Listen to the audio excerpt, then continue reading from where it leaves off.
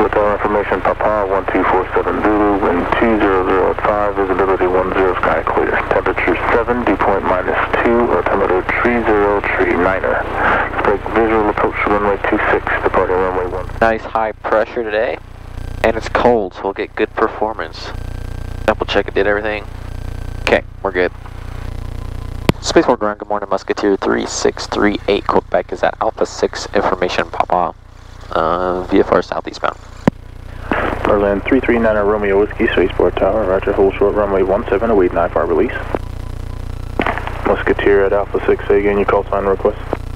That's Musketeer 3638, Quebec's at Alpha 6 with information Papa, VFR southeastbound. Musketeer 3638 Quebec, Spaceport ground, runway 26, run up area, taxi via Alpha 7 Alpha. Musketeer 3638, Quebec is currently at Alpha 6, verify is still clear via Alpha. Musketeer 3638 Quebec, roger, Alpha 6 Alpha to the uh, run up area is approved. Alpha 6, Alpha to the run-up area, Musketeer 3, Quebec. They always mess that one up. Berlin 339 Romeo Whiskey All good. on departure. Alright, so, plan for today. I'm Career track 321, Basically- extend downwind.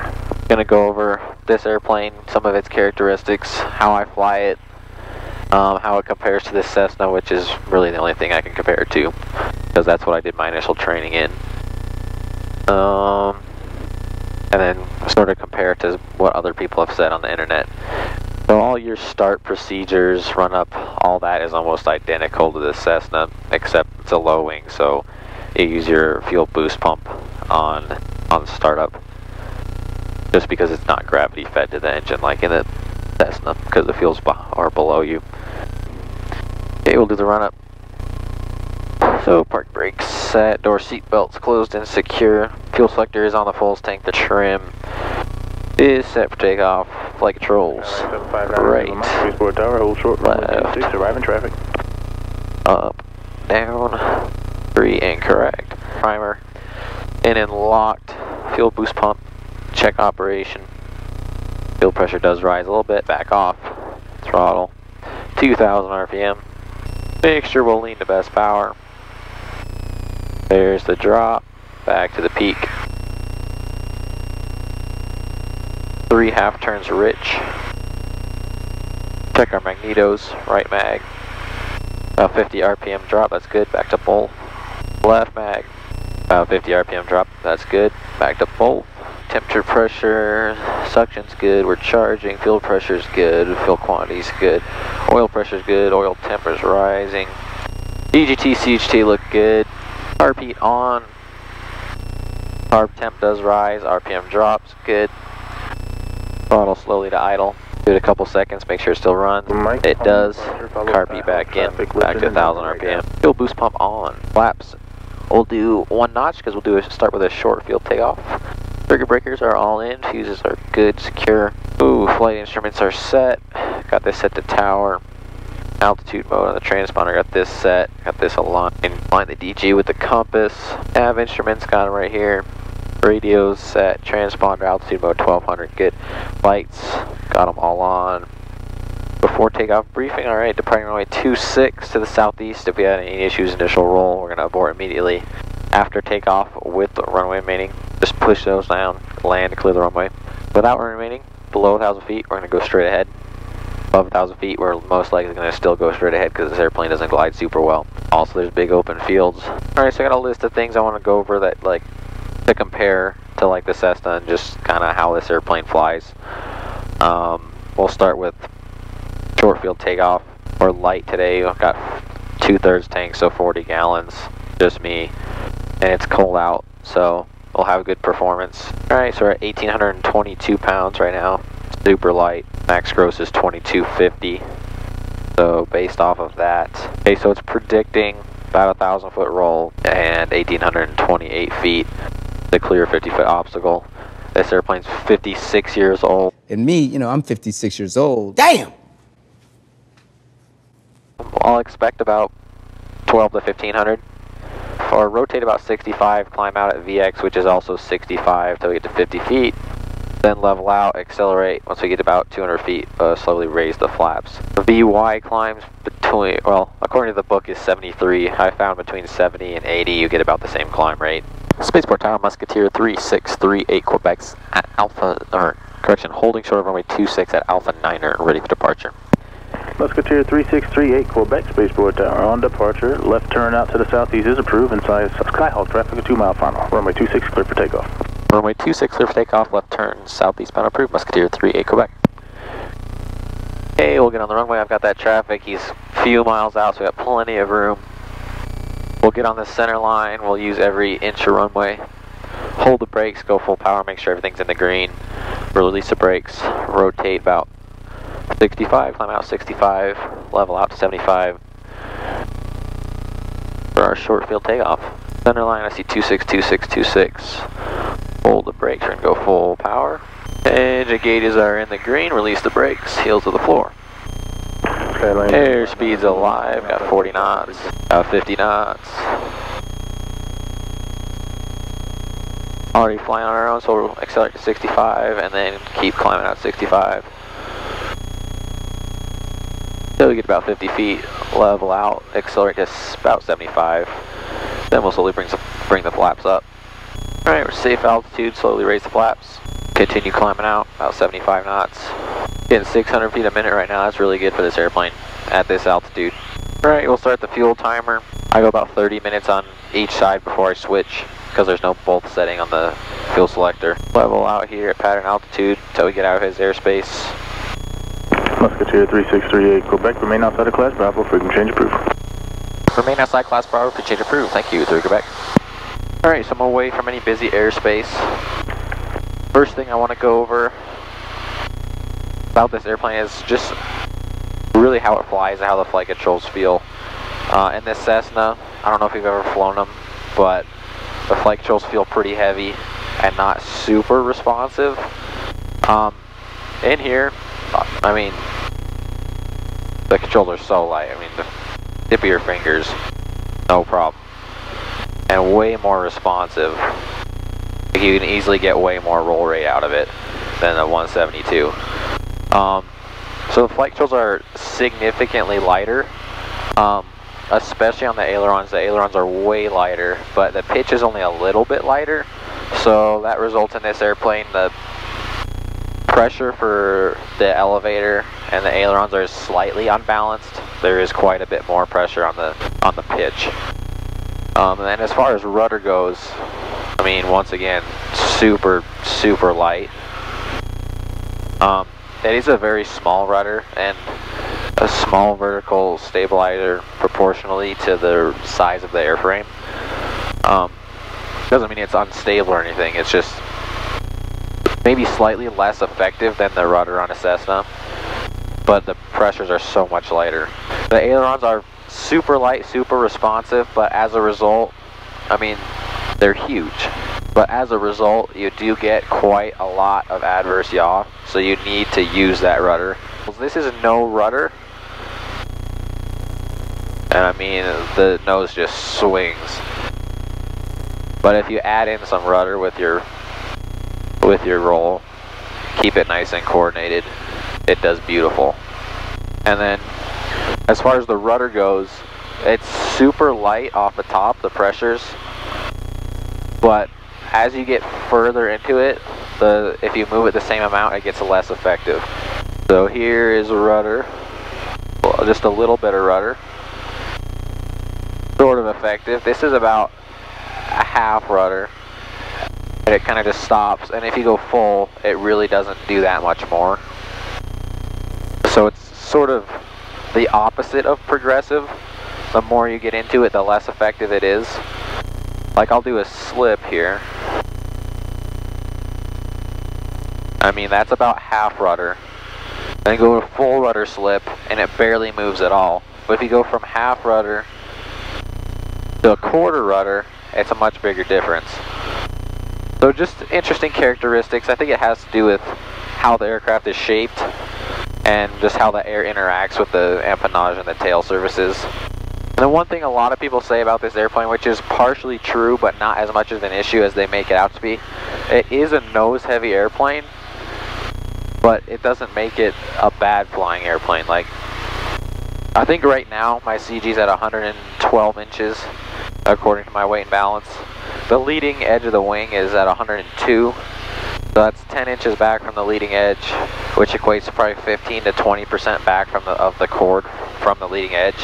And if you're uh, familiar with model airplanes, uh, a nose-heavy airplane is about a quarter, about 25% back from the leading edge is about where a, a plane flies well or starts to feel nose-heavy. You usually want it in the 25 to 30% range.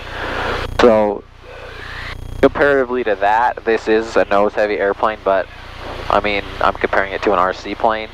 Well, aerodynamics just work better when you go bigger. So it's not as much or as noticeable as it is on an RC airplane, but it is it is definitely a nose heavy airplane. Um, now a lot of people say that this airplane, like the pitch and yaw, get blanked out when you start going slower, and I haven't really noticed that too much. They make it out to be this huge deal that you have to be really on top of. Like on landings, they say you get too slow, you'll lose all your uh, pitch authority. Well, yeah, then you're basically stalled, as with any airplane. As far as rudder effectiveness or getting blanked out, I haven't felt that at all. Now it is a small horizontal stab or stabilator because the whole thing moves. Um, and the fuselage is pretty wide. One interesting thing I've noticed is that like when the bugs get stuck to your airplane, they're usually all over it, but on the tail, about the inside foot or so of the stabilator on each side, there's no bugs on it. So either it's slightly blanked out in the middle there, or uh, it's just getting more turbulent air. But I haven't found it to negatively affect the performance at all. With flaps, um, in a Cessna, they pitch the thing up like crazy and you need to be on top of it. With this, on the other hand, it pitches down, but not too aggressive at all. It more pitches down, but increases the lift, so you don't really descend or climb or anything. You just start flying more nose down. It just reduces the deck angle. I'll show you here. I'll slow down a little bit. We're at 80 knots. Go one notch of flaps. See how the nose lowered. Do have to add a little bit of forward pressure. We'll add our second notch. See, nose lowered. But we're not descending or climbing at all. We're just flying with more nose down. Then if you go third notch of flaps, 35 degrees, I mean, we're not descending or climbing right now. It's just flying nose down. Like my VSI is at zero feet per minute. We're level. But one thing in a Cessna, you know, at 40 degrees of flaps, the thing almost doesn't want to climb, or at least in the 160 horsepower ones at this elevation. Now, I'm holding altitude no problem at about 75% power. I go to full power. I mean, it's draggy, but I mean, I'm climbing at 300 feet a minute. 70 knots. Yeah, about 300 feet a minute with full flaps, which is not bad. Granted, you're never going to want to necessarily climb with full flaps, but if you ever need to do a go around, you know you have the extra performance to do so, which is nice. On the topic of climb performance, this is, it's 160 horsepower. Uh, max gross is 2250 or pounds. And it is a bigger airplane than a Cessna. It is wider, it is more draggy, it doesn't climb quite as well. I've noticed about 100 feet per minute less in the climb. So I'm, it's just me in here today. I'm at two-thirds tanks, 8,500 MSL. Let's see what I get in terms of climb. We'll start with the book recommended climb speed or max climb VY for from the book, which is 73. All right, there's our 73 knots. We'll get stabilized here. And we're getting about 500 feet a minute. Let's bring it back to about 70 knots. See what it's doing. There's 70. We're looking about 600 feet a minute. And then we'll bring it up to about 80 for sort of a cruise climb, if it'll accelerate. There we go, there's 80. Let me get back in the climb. Yeah, 80 looks about 400 feet a minute. So, interestingly enough, 70 knots or below the book VY, you actually get a better climb rate. Um, now, there's a couple theories for that. One, the POH goes off of having no wingtips. Uh, this has the added uh, drooping wingtips for extra lift. It does add a bit of extra drag, but it, it definitely helps the performance, I think. Um, so I think that's part of the why, part of the reason it changes. I suppose the old instruments could be slightly inaccurate too. But we'll go off of that. We'll say 70 knots in here is about the best climb you'll get. Anything lower than that and you're just starting to get behind the power curve, which is not a super safe place to be if you were to have any issues. And then uh, same thing for glide speeds, for best glide speeds um, with the wingtips. Um, it does not at all match up with the POH. We'll do a couple runs here. Best glide, um, according to operating manual, is uh, 78 knots indicated airspeed. Now we'll do that here and I'll just show you how much forward pressure it requires in order to get that. So what I'm going to do to test this, I'm here at 9,000 feet. I'm going to stabilize at the airspeed. Once I get to 85, I'll start a timer until I get to 75. Um, and then I'll look at uh, descent rate and then I'll do some nerd math and figure out how what distance we're covering in that in that time based on our descent rate and speed and everything. And I'll do that for a couple different speeds. Okay, so we're going to do this first run uh, testing glide distance and uh, rated descent uh, at the recommended or v, VG speed, which is 78 knots. Uh, then we'll try it at 70 and see if it's any different. I, well actually I already know which is better, but um, the wingtips do add a bit of drag and change the way the wing creates a lift for the better for the most part. Um, but it does change those speeds a little bit so you want to be aware. Alright, let's pick a heading, keep this consistent. Alright, we'll call it a 180 heading. Get our timer ready. Heartbeat on. Bring the power to idle. And in order to keep it at 78 knots, you have to push. I mean, look how fast I'm descending. Alright, we'll stabilize at 78. Okay, there we go, we got it trimmed out. According to the book, this is our best glide. There we go, started. We'll time how long it takes to get to descend a thousand feet. Keeping our airspeed as close to 78 as we can, keeping it coordinated, throttle idle. Showing a thousand feet a minute descent. Yeah, I'm pretty sure that's not our best glide. there is 7,500 feet. Okay, we'll go ahead and recover about a thousand feet per minute to descend thousand feet a minute. So I'll write that down. Yeah, the first time I did that, I'm like, there is no way that's best glide speed. 78 knots.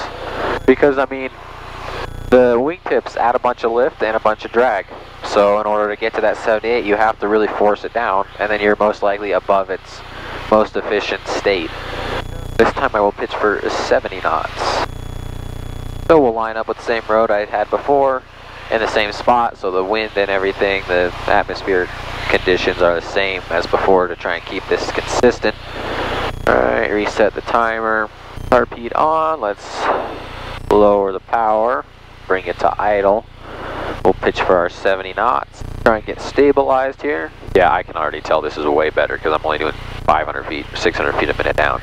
And it, it just feels happier. There's our 8,500. Start timer. Okay, now I'm showing 800 feet a minute down at 70 knots. So definitely less descent rate, but we're also going slower, so we're covering less distance. So I predict the distance traveled will be about the same, but this is definitely giving us more time in the air. If anything were to happen, this would be a better situation to be in. Speed's creeping up a little bit, I'll get it back to 70. Was about 73 for a couple seconds. I'll try and keep this as consistent as I can, but I'm not a perfect pilot, so we'll do our best. And there's 7,500 feet. All right, so we got a minute and 17 seconds on that one to descend at 70 knots. That gave us an extra 17 seconds over that 1,000 foot period, which if it was an actual emergency situation, that's actually a lot of time to compose yourself and figure out what's going on. All right, one thing I noticed for climbing It actually climbs really well with one notch of flaps. So we'll go 15 degrees and see what kind of uh, climb rate we can get out of it. Alright. Let's pitch for 70 knots. Actually, we'll stabilize at 65 since we got a bunch of extra lift. So yeah, 500 feet a minute at 65 knots with one notch flaps. Once we get to 70 though, the extra drag is now overpowering the lift and we're only getting 300 feet a minute. So what if we bring it back even more? There's 65, looks 5 to 600 feet a minute, that's really good. About 60? At 60 we're getting 500 feet a minute. So if you need, if you don't have as much room in the climb, or to climb, or if you have an obstacle to clear, uh, climbing with flaps is going to be very helpful because you get almost the same climb rate as without flaps, but you're going slower, so your climb gradient is much steeper, so you can clear obstacles better. And because of that, what I'm now interested to try is my glide speed at 65 knots with one notch of flaps to see what kind of sink rate I'm getting. So this is good to do, like test your performance numbers, make sure that what the book is saying is actually what the airplane does. We'll try 15 degrees of flaps at 65 knots, see what our sink rate and speed and uh, distance covered is. We'll start slowing up here, get our carb heat in, first notch of flaps. All right, there's 65, let's bring to idle, see where it stabilizes. Actually hold itself very stable at that speed. Five, start the timer. Look about 700 feet a minute down, so about the same as before, interesting. It's very happily just sitting right about 65 knots though. 300 feet to go, we're at a minute and five seconds. All right, coming up on our 7,500 feet, there we go. All right, looks like a minute 23 seconds. Interesting. Now there's a million different configurations I could test. I could make a whole video about it. I'm trying not to bore you today. Try not to bore you today. To bore you today. But looks like that specific speed and that setup gave us a little even more time. So that's a minute 23 and a half seconds. And then one thing to consider too is pushing the nose down for 78 knots is a lot more dramatic than just like chilling there 15 degrees of flaps at 65 like at 78 you can hear the wind you can hear the wind like forcing the prop to windmill and it's actually a more stressful situation if it were an emergency so maybe that's one thing to consider too maybe yeah you buy more time maybe cover a little less distance with 65 uh, knots at 15 degrees but maybe it'll help you remain more calm just because there's less going on the airplane's more stabilized um, and it's just a more relaxed environment plus at that configuration you're already basically set up for a good landing uh, with no power like you'll probably want to go second notch of flaps for landing, but that's less things you have to do. So maybe you're already, if it were an engine failure, um, forced landing situation, you're already better set up to land. So that's one less thing you have to think about. Plus, it buys you more time to run through the checklist. Maybe even get it restarted, or maybe you missed an item in your flow. I don't know. There's a lot of things to consider, and honestly, there's a million different configurations I could test for glide speeds and climb speeds. I could make a whole video about it. If you want to see that, let me know. I'd be happy to do that. Okay, so here's the path of our airplane. You gotta can make it a triangle because you gotta um, consider that we're descending a thousand feet as well as traveling forward. So our actual path is a downward slope. Um, so to find the distance here, this is the first distance we find because that's the that's the path along which your speed is being measured. So do a little unit conversion, 78 knots is 78 nautical miles per hour. Multiply that by one hour, which is 60 minutes. This is basically just one, that's how you do a unit conversion. Then times the time, which is one minute, because that's how long it took to descend a thousand feet for the first test. Give us our distance here, then use Pythagorean formula like a nerd. Um, plug your values in. This is a negative right here, but um, because I used pen. I forgot to put it, and then I didn't really want to redraw everything, so I just put the negative right there. That is a negative. Um, so we found our distance across the ground to be 1.289 nautical miles. And then just because why not, I wanted to see what angle it was at. So that's pretty easy trig. Sine, remember, is opposite over hypotenuse. So that's 1 6 over 1.3 inverse sine to get the theta, which is your angle, which is about 7.37. Do the same thing for tests 2 and 3, and we find that our distance across the ground for tests 2 and 3, about one and a half nautical miles each, and they have about exactly the same almost angle. So, interestingly enough, the best glide from the book is actually not your best glide under my configurations at least because it got you the least amount of time in the air and the least distance covered. And these were almost identical, but test three gives you an extra, I believe it was six seconds on top of it. So some interesting things to consider. All right, as far as cruise speeds go, is the next thing I'm gonna look at real quick.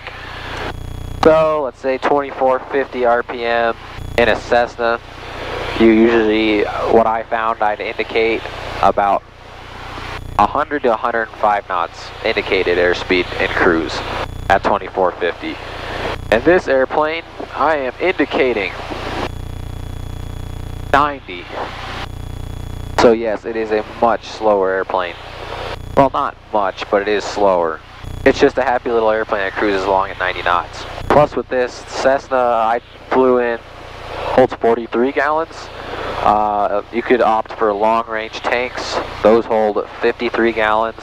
This airplane holds 59.8 gallons. So, and I found in the Cessna I ended up burning about 7 to 8 gallons an hour. They say that's what this burns and that's what you'd expect because it's the exact same engine. But I've noticed about 6 to 7 in this airplane.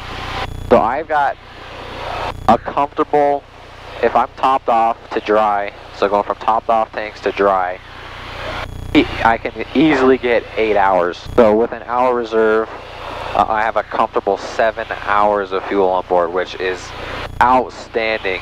So as far as long range goes for this airplane, it's fantastic.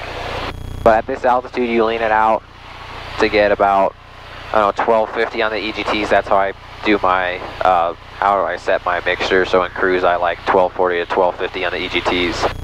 And then that means the CHT or cylinder head temperature temps out about 350 to 370 depending on the outside air temperature. I really like this airplane. I'm very grateful to have the opportunity to own it, to fly it, to have it help me with my career. I don't know what I did to deserve it, and I know not many people get the opportunity, so to try and honor it, be grateful and respect it, be responsible, try and make the most out of it. Next thing I shall do, we'll do some slow flight and stalls.